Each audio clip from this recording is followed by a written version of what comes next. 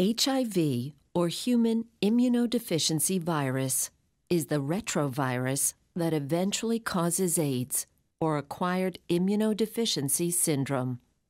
Over time, HIV infection suppresses the immune response, resulting in a spectrum of diseases leading to AIDS.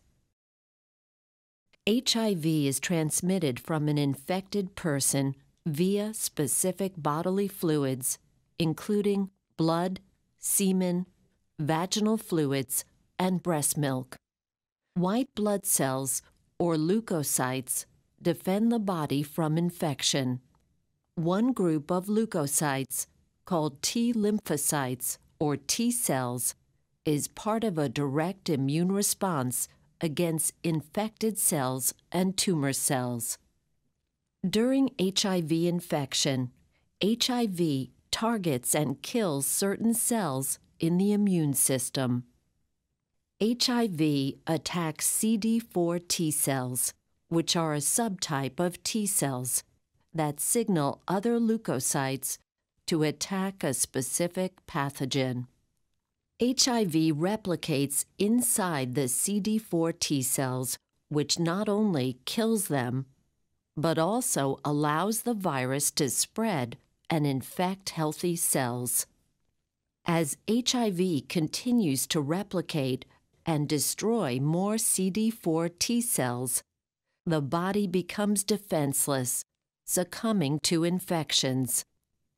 When a CD4 count drops below 200, a person is considered to have AIDS. This can take as long as 10 years from the time a person is infected with HIV.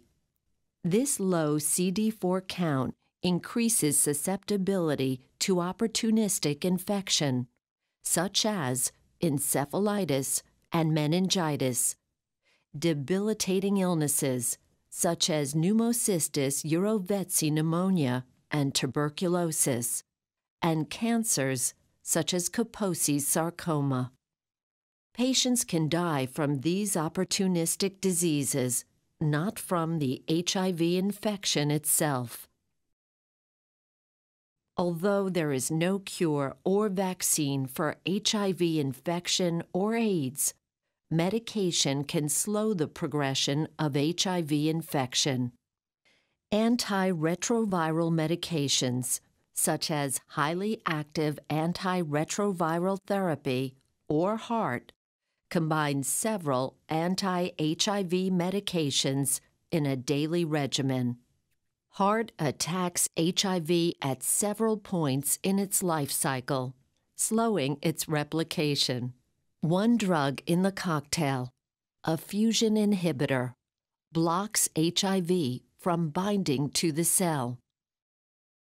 A second drug, reverse transcriptase inhibitor, blocks it from replicating. And a third drug, a protease inhibitor, prevents HIV from assembling a new virus Though it is not possible to completely eliminate HIV from the body, HAART slows progression and significantly reduces deaths from HIV related diseases. In addition to HAART, there are other HIV medication drug classes available. Other treatment options for AIDS include specific medications for opportunistic infections. For example, licensed healthcare professionals prescribe certain antibiotics to treat tuberculosis and pneumonia. Blood tests are performed regularly to check CD4 counts and determine the efficacy of the cocktail and antiviral.